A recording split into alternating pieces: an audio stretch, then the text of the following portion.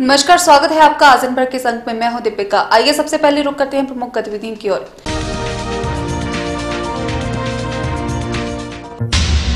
United Forum of Bank Union के आह्वान पर हमीरपुर जिला में बैंक कर्मचारी चले गए हैं दो दिवसीय हड़ताल पर। जनता को लेन देन के लिए भारी दिक्कतों का करना पड़ रहा है सामना। एटीएम के बाहर भी देखी जा रही है लोगों की लंबी लंबी कतारें।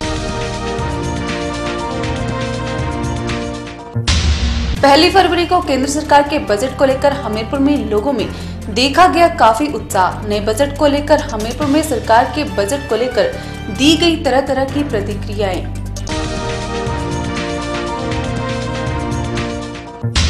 हिमाचल प्रदेश तकनीकी विश्वविद्यालय हमीरपुर ने छात्रों के सर्वांगीण विकास के लिए किया जाएगा काम। किन्हीं कारणों के चलते अपनी डिग्री पूर्ण नहीं कर पाए और उनकी सीमा भी समाप्त हो गई है। ऐसे सैकड़ों छात्रों को दिया जाएगा गोल्डन चांस मई माह में लिया जाएगा एग्ज़ाम कहा प्रदेश तकनीकी विश्वविद्यालय के कुलपति प्रोफेसर एस पी बंसल ने।